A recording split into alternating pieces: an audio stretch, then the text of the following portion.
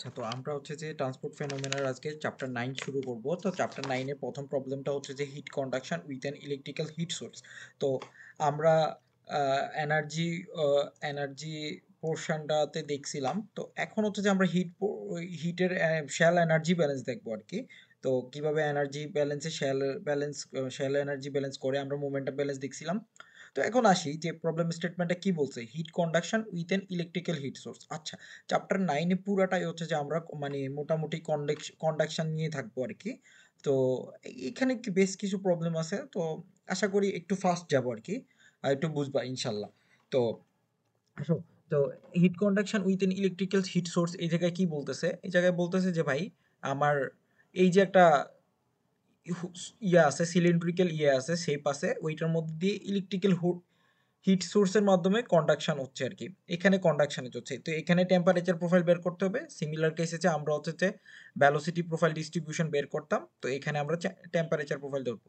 তো এই প্রবলেমের জন্য আমরা কিছু অ্যাজামশন ধরে রাখছি যে অ্যাজামশন হচ্ছে যে first of all the wire behaves as a continuum দুই নম্বর হচ্ছে steady state condition heat transport by conduction heat flow is unidirectional অর্থাৎ রেডিয়াসের দিক বরাবর হচ্ছে যে শুধু হিট ফ্লো হচ্ছে। আর thermal conductivity k and electrical conductivity k e are constant, এইগুলো হচ্ছে আমরা অ্যাজামশন ধরে নিছি বাই ডিফল্ট আর টেম্পারেচার আমার হচ্ছে যে function of r only okay এই জিনিসটা হচ্ছে যে ম্যান্ডেটরি ওকে তো এই যে অ্যাজামশনগুলো ধরছি, এই অ্যাজামশনগুলো না ধরলে ভাই আছে আমরা যে অঙ্ক করব, এই অঙ্কটা হবে না। আমাদের সবগুলো কেস কনসিডার করতে হবে। তো আরেকটা জিনিস কোশ্চেন স্টেটমেন্টে দেয়া আছে। এটা হচ্ছে কোশ্চেন স্টেটমেন্টে দেয়া থাকার কথা যে এস ই আমার ইলেকট্রিক্যাল হিট সোর্স এটার একটা ইকুয়েশন দেয়া আছে I square divided by k e তো আসি, এবার হচ্ছে যে প্রবলেমটা আসি যে কীভাবে আসে? তো একটা শ্যাল ভলিউম ধরছি, সেই ভলিউমটা ধরছি যে এটা হচ্ছে কিউ আর আর এটার হচ্ছে ডিস্টেন্সটা হচ্ছে ডেল আর এই যে এই ডিস্টেন্সটা ডেল আর তাহলে এই যে এই জায়গার ডিস্টেন্সটা কি হবে? Q r plus del r তো এইটাই তো শ্যাল ভলিউম যদি তুমি ধরো, তো শ্যাল ভলিউম তুমি যদি ধরো, একটা পাইপ আছে সিম্পল একটা পাইপ ধরো, যে এই যে একটা পাইপ আমার, এই যে পাইপ, এইটুকু হচ্ছে যে এই যে এই যে, এই দুইটা পাইপের মধ্যে আমি যদি নেই, এটা হচ্ছে আমার ডেল আর আর এর বাকি পাইপের অংশটা হচ্ছে আর আর এই যে অংশটা হচ্ছে যে মানে টোটালি ডেল আর পুরোটাকে আমি আর ধরলাম আর কি। মানে এই যে, এই ডিস্টেন্স থেকে এই ডিস্টেন্স পর্যন্ত আর ধরলাম। তো ফার্স্ট অফ অল আমার হচ্ছে যে শ্যাল এনার্জি ব্যালেন্স করব। শ্যাল এনার্জি ব্যালেন্স কীভাবে লিখতে হয় আমরা জানি। যদি একটু দেখি ফার্স্ট অফ অল লিখব যে shell energy balance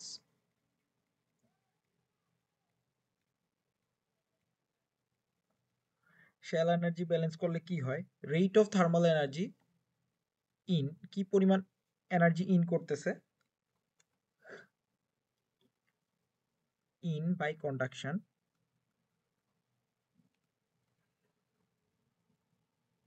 is equal to 2 pi r l q r r আর কি পরিমাণ আউট হচ্ছে?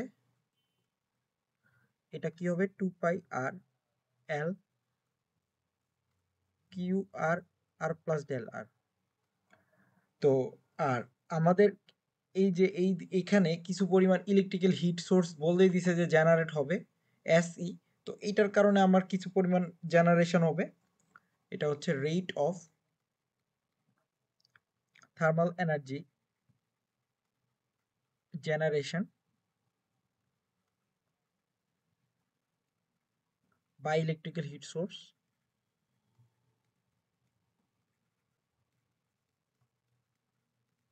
is equal to SE into তার এরিয়া কতটুকু মানে শেল ভলিউম কতটুকু 2 পাই আর ডেল আর এল তাই তো আচ্ছা তো এখন নাও আমরা কি লিখতে পারি কি পরিমাণ হিট জেনারেট হয়েছে কি পরিমাণ হিট ইন হয়েছে মাইনাস আউট প্লাস হচ্ছে এটা ইজ ইকুয়াল টু জিরো তাই না? শেল এনার্জি ব্যালেন্স ইকুয়েশন তো আমাদের এরকমই আসবে two pi r l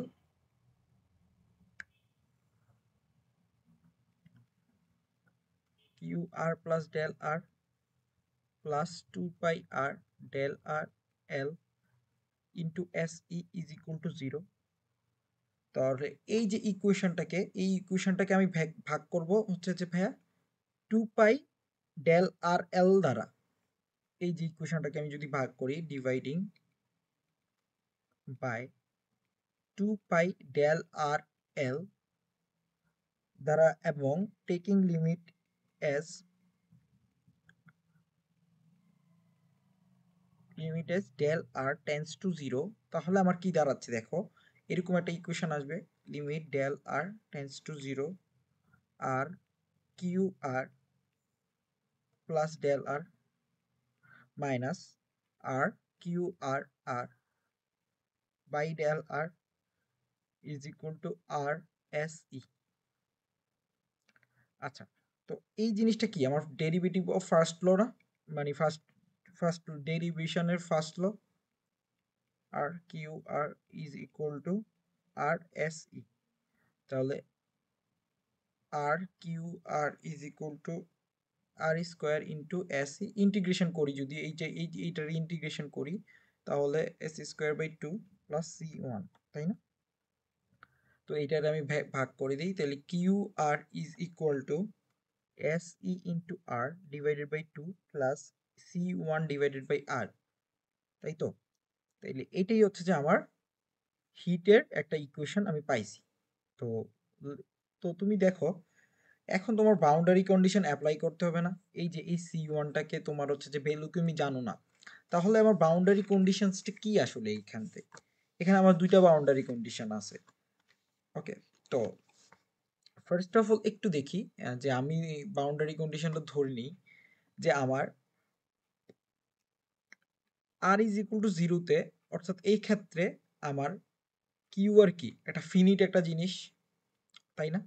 q আর তো একটা ফিনিট একটা জিনিস। তো সেটা কি হবে? তাইলে কিউ আর যদি অবশ্যই একটা ফিনিট একটা জিনিস হয়, এই যে আর ইজ ইকুয়াল টু যদি জিরো বসাও, এইটা হচ্ছে জিরো হয়ে যাবে। এটা কি? ইনফিনিট হয়ে যাবে। তার মানে এই যে কিউ আর যে জিনিসটা, এটা কি কোনোদিন সম্পর্কে জিরো হওয়া সম্ভব? এটা তো একটা ফিনিট রাশি, তাই না? তো এই যে ফিনিট রাশি, তো এই কারণে আমরা লিখব বাউন্ডারি কন্ডিশন এক boundary conditions one at r is equal to 0 qr is finite, so c1 is equal to 0 তাই তো?